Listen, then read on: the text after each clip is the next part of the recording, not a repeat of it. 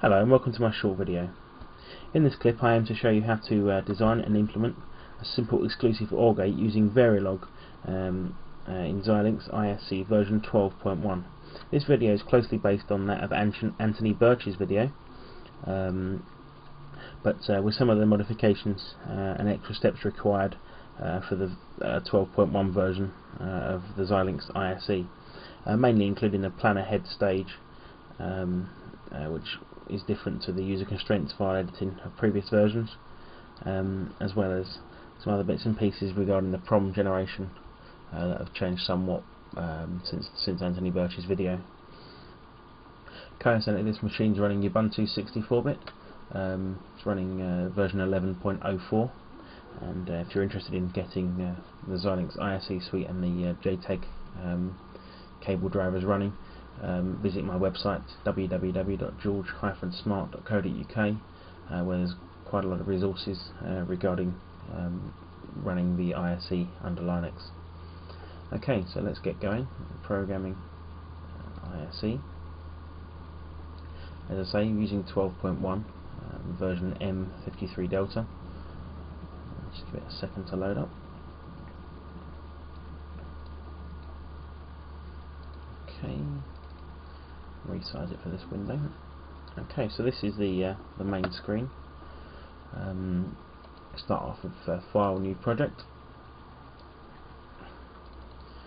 I do quite a lot of my uh, FPGA development in a subfolder, so I'll just add that to the path, and um, and then we'll create a folder called Test for our project. We note here that we're going to be using uh, HDL, hardware description language, as opposed to a schematic or some of the other forms of um, uh, source entry, so HDL and then go on. This uh, page of the wizard asks us to confirm the target design. Um, so we need to select here wh which FPGA we're using and some of the details. So I'm using um, a Spartan 3E board from Digilent. Um, and that chip uses the um, Xilinx uh, uh, 3S500E um, the package Fox Golf 320 and uh, speed of minus 4 going to be using the XST uh, synthesis tool uh, for Verilog and VHDL um, we're not using a simulator so it doesn't particularly matter at the moment. And uh, we're going to be writing in Verilog so make sure that's selected. Most of the other options can be left um, as they are at the moment Okay, pressing next gives us uh, a summary of, um, of what we've just entered in the previous two dialog boxes um, and finish creates the project for us. Okay, so we've now got the new project. Uh, it's different to previous versions. Um, to have reached this point before, you'd have had to uh, insisted you didn't want to add um, any source files. But um, this version dumps you straight into a new project, and you're free to add source files uh, as we're about to do now. So project new source. We wish to add a uh, Verilog module and uh, we'll call that uh, test to keep in with uh, previous uh, names. Um, sorry, it's important to note you've uh, added to project as well here.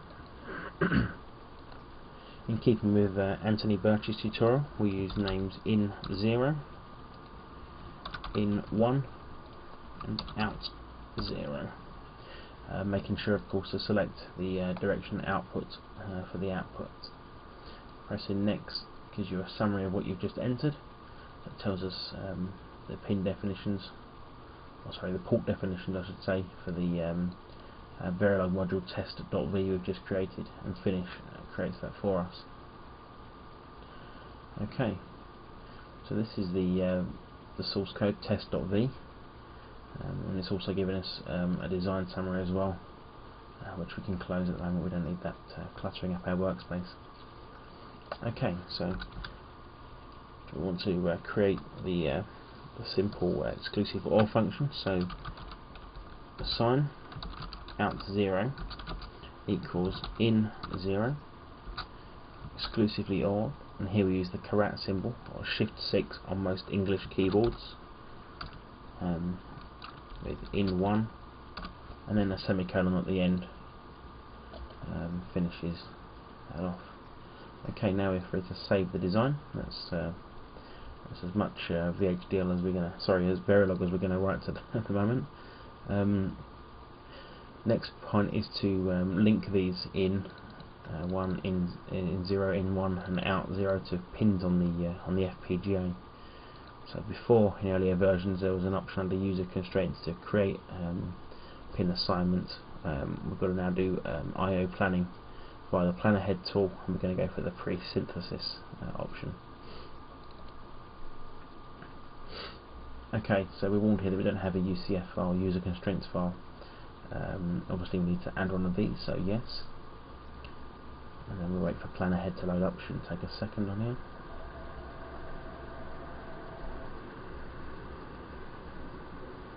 There we go. eventually that will load. Okay. It now goes ahead and looks in all of our files, and seeing what we need, what netlists we've got, and that kind of thing. Okay, we close the uh, close the welcome screen now. So this is the uh, footprint of our chip, the actual um, BGA ball gate array, and this is the uh, the silicon floor floor print as it's referred to or packaging device as they're seen here. Okay, so we look at uh, test our project. We look at net, which tells us the uh, the nets that we need to have in zero, in one, out zero. Let's get ourselves some more room here.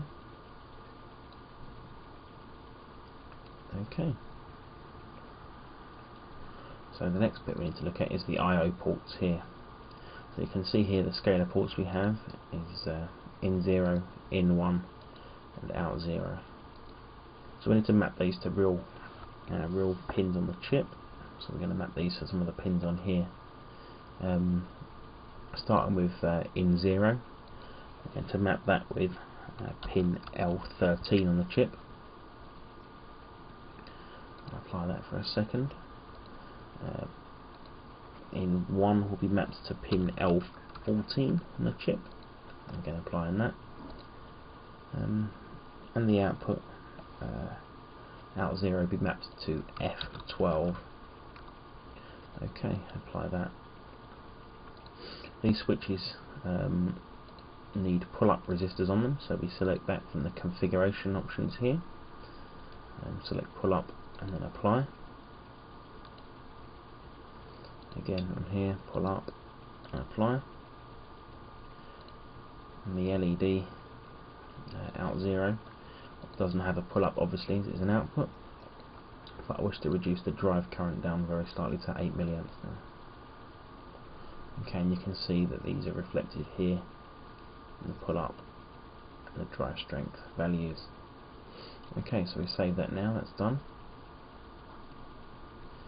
And we close it's okay to go ahead and close PlanAhead. For the sake of curiosity, it's okay to look into this file and you should see these things reflected in the UCF that you're uh, maybe used to dealing with. So here you can see the net and the, the mappings and then the net again and the drive and pull up um, options we specified earlier on. Flick back to the source code a moment. Okay, right, once we've done that, we're, uh, we're good to start um, to start generating and synthesizing. So um, want to implement the design, run all, uh, tell it to run the synthesis as well as uh, as well as the implementation. Um, so just give it a moment to wait for that.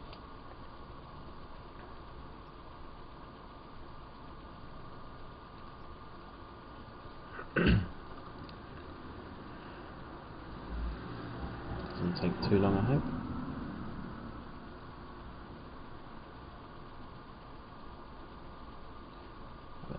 Noise some of the vehicles and that going past the workshop.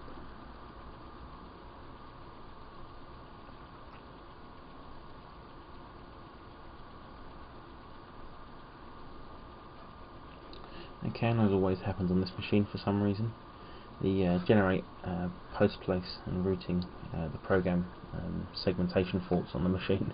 um, that uh, the, the, the task's done and it's just the program crashes on exit for some obscure reason. Um, but uh, as you can see everything's been completed successfully so I haven't got around to figuring that one out yet.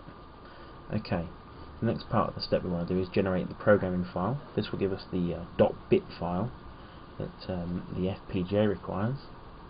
Before we do that, we're just going to have a quick look at the process properties under the startup options to check that the uh, FPGA starts up with C clock as opposed to the user clock or JTAG bus clock. So uh, C clock. Okay.